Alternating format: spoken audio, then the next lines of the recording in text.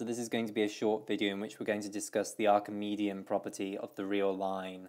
So the Archimedean property is the name given to the fact that the natural numbers within the real line are not bounded above.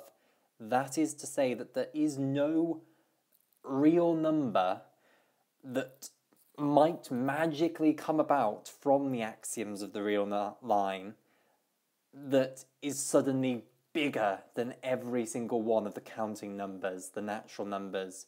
What we will actually do to prove that is show that the completeness axiom of the real line cannot possibly be consistent with such a scenario. So if there were a real number that was bigger than all the natural numbers, it would be inconsistent with the completeness axiom of the real line. That's what we'll show in this video. So just a quick picture.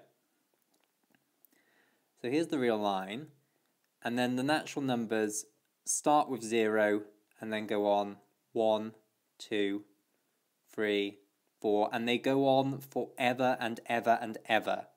So we might extend our real line out, so to the general natural number n, but it doesn't stop there. It goes on with n plus 1, etc., etc. And the Archimedean property is that there is no real number all the way out here, some magic real number x, it doesn't exist. So this is nonsense. Um, there is no number that is bigger than every single one of them. So x is greater than or equal to, we could say, uh, n for all n is an element of the natural numbers. Because if that x existed, it would be an upper bound for this set of natural numbers within the real line. And that's what the Archimedean property is. It's the fancy name for the fact that this doesn't exist. The natural numbers are not bounded above in the real line. So hopefully it's fairly intuitive to you that this is true. Let's think now about how we can actually prove it, though. And to do that, let's firstly consider a simpler case. So we were thinking up here about the real line, but let's now go to a simpler ordered field. Let's go to the rationals. And the Archimedean property is going to hold true in the rationals as well. If we consider the natural numbers sitting inside the rationals, here they are, then again, they're not bounded above in the rationals either.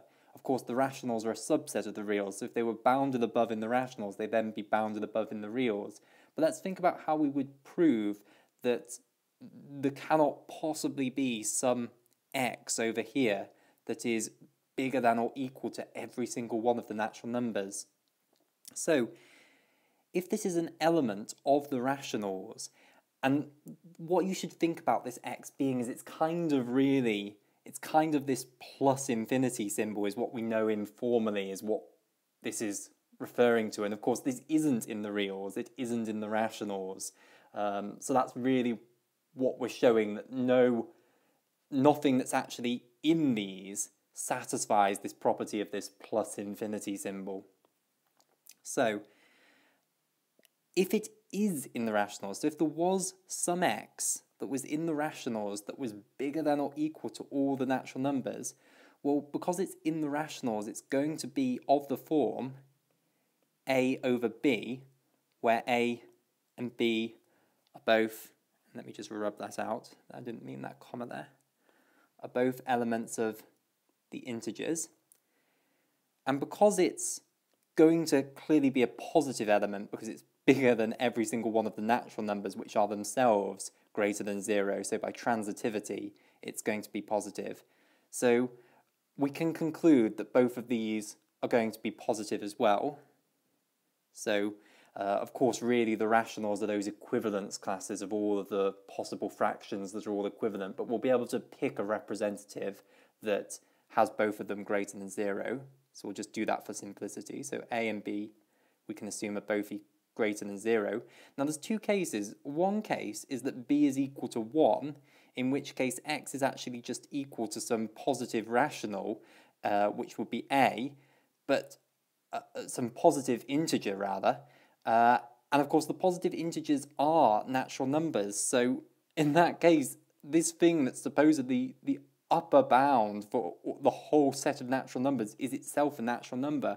But that's nonsense because then you can consider x plus 1, which will also be a natural number, and it will be bigger than the one that's supposed to be bigger than or equal to every natural number, so it would contradict it. So that case we've proven nonsense. Let's now consider the case where b is not equal to 1. So that means that b is going to be greater than 1, and if b is greater than 1, then 1 over b is going to be less than 1. So the multiplicative inverse of a number that's greater than 1 will be less than 1. So that follows from basic ordered field properties of the rational numbers. So now what we can do is run with this inequality. We can multiply top and bottom by a, which is a positive uh, integer. So the inequality sign isn't going to flip, so we'll just get a over b is less than a. So we've now shown that this thing here is going to be strictly less than some a, where a is some positive integer, some natural number. So here is a natural number that's bigger than this thing that's supposed to be bigger than or equal to all the natural numbers. So it's nonsense, basically, all nonsense. There is no rational number that is bigger than or equal to all the natural numbers, and here's the simple argument to show it's nonsense. Now, it's still going to be nonsense when we go to the bigger field of real numbers. However, here, if we try and think about how we can prove that the existence of this is nonsense, it's more difficult because we can't simply characterize what x is going to be in this same way. We can't, we don't understand the structure of our numbers in the real line as well as we do in the rationals. They're much simpler. The structure of the numbers is much simpler in the rationals. So it's more difficult. We can't use this avenue of proof. However, there's still a really simple, beautiful way of disproving this element. And the way you do it is by showing that if it existed, it would be inconsistent with the completeness axiom of the real line, and therefore it's gone. the completeness axiom we love and adore, if it, anything is inconsistent with that, then it's gone, gone forever. So here's the argument, and it's really simple. So, proof by contradiction. So we assume it exists, so undo that cross there. We're assuming it now exists, and it satisfies this property here. It's an upper bound for the whole of the natural numbers. So by the completeness axiom or the least upper bound axiom, whatever you want to call it, any bounded or any set that is bounded above has a least upper bound. So this set of natural numbers therefore must have a least upper bound if it's got an upper bound. So we can now call that least upper bound S. Now s might be the same as x, x might have been the least upper bound, but in general it might not have been. So we've now got this least upper bound s, but this is nonsense, and I'll show you why.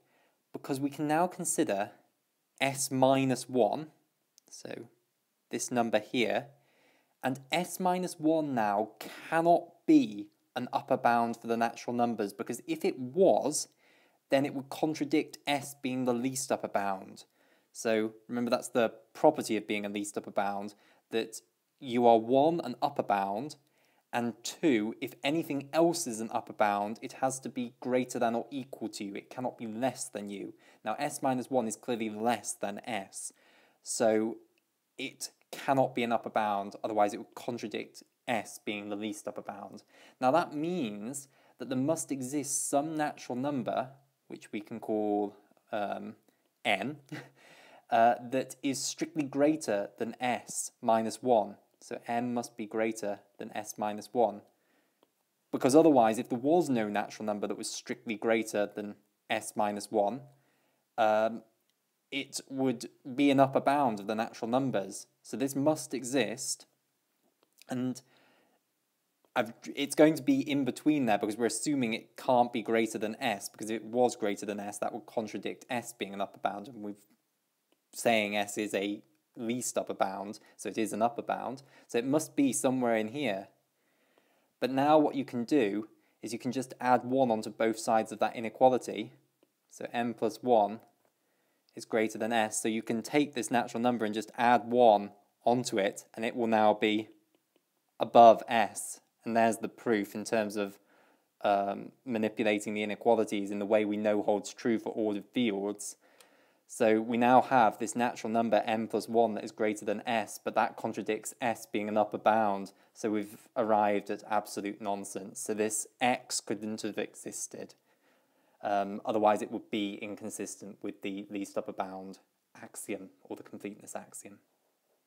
So there you go, that's the Archimedean property of the real line, and we do use this quite a lot in real analysis. The way we use it is often we have some number, x, and we want to conclude that we can always find a natural number that's bigger than x.